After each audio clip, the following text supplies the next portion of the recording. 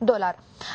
مشاهدينا عودة لضيفي السيد يوسف للتعليق على هذا الموضوع وكيف سوف يؤثر بداية على سهم المملكة. سيد يوسف تأثير هذا الخبر على السهم؟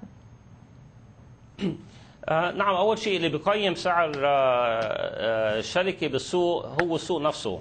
آه ما هو يعني هذا التقييم العادي للسوق هو أفضل مقيم لسعر شركة مدرجة.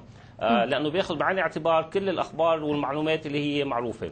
النقطة الثانية لما يتم تقييم شركة يجب أن تستعمل نفس المسطره تحت التقييم لما تقارن مع شركات أخرى، فما تقدر تستعملي طريقه تقييم معينة مع شركة وطريقة مع شركة أخرى، فلازم يكون في تساوي بمنطق التقييم بين الشركات. آه وثالثا التركيز ما هو التقييم بس يعتمد على الماضي ولكن على المستقبل شو تطور الشركة شو اتجاهها. آه فالشركه متجهه لتكون يعني مقبولة اسلاميا أكثر عم يصير فيها تحضيرات أكثر بنفس الوقت ما ننسى إنه السوق السعودي حينفتح للأجانب قريبا والشركة إذا بتقارنيها مع بعض الشركات اللي بالخارج آه هي بتدمها يعني شركة عندها ستابيليتي أو تمركز جيد. فهذا حينظر لها مع إنه مستويات الربحية فيها ما هي إلى الآن مرتفعة. لكن شركة ما زالت عم بتدير المخاطر. شفنا ب يعني بنزول 2008 الشركة قدرت تدير المخاطر بشكل إنه قدرت تستمر. وهذه هم استمرارية كثير منيحة وجيدة بتفرجي على صلابة واتجاه الشركة نفسها نحو بحر الأمان. نعم. نقطة أخرى بحب أذكرها على التذبذب تبع الشركة كمان اللي ذكر. صحيح. آه قارن الشركة مع مع السوق نفسه يعني التذبذب كان بيتماشى مع السوق فذكرت الشركة يعني آه إنه وقت التقييم كان شوي آه مرتفع بوقت معين لكن إذا مطلع على السوق نفسه عم تتجه الشركة مع السوق تقريبا اتجاه السوق اتجاه المؤشر. فكيف بيأثر ممكن هذا على اتجاه الشركة؟ أنا بعتقد إيجابي آه يعني حاليا الشركة آه المملكة القابضة سهمها عم يتجه في بولجر العلوي آه في طلبات جيده على السهم ما عم نشوف في تداولات عالية في طلبات كثيرة على اسهمها بعتقد نعم. والتصوري أنا مع الاقتراب من وقت ال ال إعلان نهائي عن نعم. نتيجه تحت الدعوة بعتقد سعر الشركة بيكون أعلى من المستويات يعني الحالية. تتوقع أن الأمير يربح الدعوة ولا يخسرها؟ آه عفوا ما اسمع السؤال تتوقع أن الأمير يربح الدعوة اللي آه رفعها آه على مجلة فورس ولا يخسرها؟ بنتمنى له ألف توفيق إن شاء الله لأنه في كثير عوامل إذا أخذت بعين الاعتبار في هالدعوة هيدي هي قضية عادلة إذا أظهرت بالشكل اللي المفروض تظهر عليه من ناحية تقييم الشركات.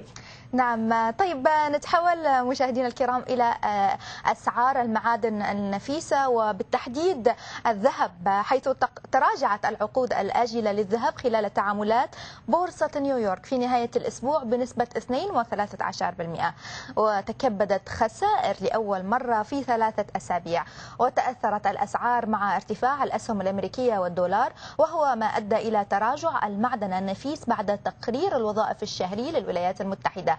وسجلت عقود الذهب للتسليم الفوري خلال نهاية الأسبوع انخفاضا بمقدار 30 دولار و83 سنتا إلى 1383 دولار للأوقية. وانخفضت العقود تسليم أغسطس آب بمقدار 32 دولار و80 سنتا أو بنسبة 2.13% وهي أكبر خسائر لها منذ الخامس عشر من إبريل نيسان لتصل عند التسوية إلى 1383 دولار للأوقية. عودة مشاهدينا للأستاذ يوسف. بالبداية يعني كلنا نبي الأسعار الذهب أنها تتراجع وكلنا نبي نشتري ذهب بالنهاية.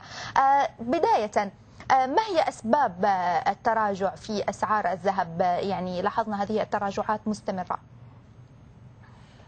بعتقد أول شيء الاتجاه العام للذهب هبوط ما هو صعود. بس الأسباب الرئيسية لتراجع الذهب ابتدأنا من وضع قبرص ولما لما بين إنه قبرص ممكن إنه تجبر على بيع الكميات الذهب اللي عندها حوالي 13 طن وكسور.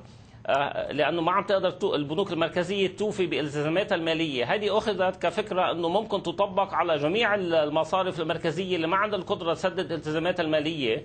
وفي أوروبا خاصة بكثرة. وهذا ترجم على إنه ممكن يكون في بيع كميات ذهب كثير بالمستقبل. فمش هذا السبب الرئيسي اللي تراجع في أسعار الذهب إلى مستويات منخفضة. بس سبب آخر كمان الآن زيادة إنه وضع الاقتصاد العالمي في تحسن. الذهب طبعا ينظر إليه إنه ملاذ آمن فبالتالي الأسواق عم تعمل منيح الاقتصادات عم تتحسن النمو موجود.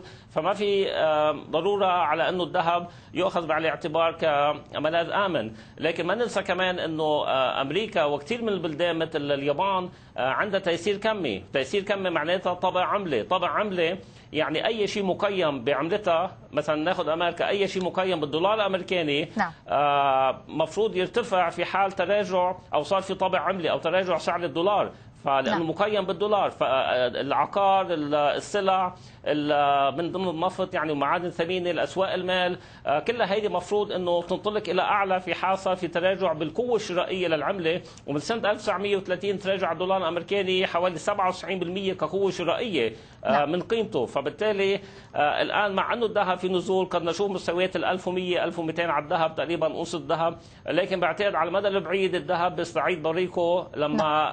المشاكل تبين خاصة ديون أمريكا 17 تريليون دولار إلى الآن. نعم اذا السيد يوسف قسنطيني أشكرك وألتقيك إن شاء الله في الأسبوع القادم يوم السبت.